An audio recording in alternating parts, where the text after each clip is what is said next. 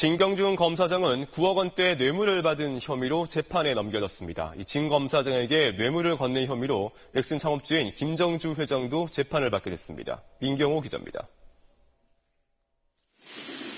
진경준 검사장을 수사해온 특임검사팀은 수사 착수 23일 만에 수사 결과를 발표했습니다.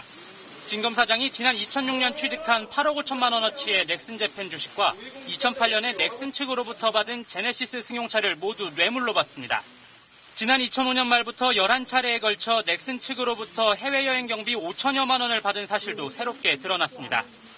진 검사장이 넥슨의 김정주 회장과 넥슨 측으로부터 받은 금품은 모두 합해 9억 5천만 원에 달합니다.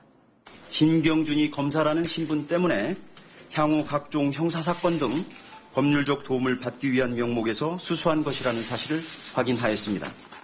천남이 운영한 청소용역 업체에 대한항공이 일감을 몰아주게 한 혐의와 보안업체 주식 거래에 차명 계좌를 이용해 8천여만 원의 차익을 챙긴 혐의도 포함됐습니다.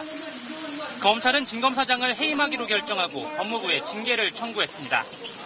뇌물을 제공한 혐의로 김정주 회장과 대한항공 전 부사장 서모 씨도 재판에 넘겨졌습니다. 김정주 회장은 평생 이번 잘못을 지고 살아가겠다며 넥슨의 등기이사직에서 물러났지만 검찰은 김 회장과 관련한 각종 의혹들을 철저하게 수사하겠다고 밝혔습니다.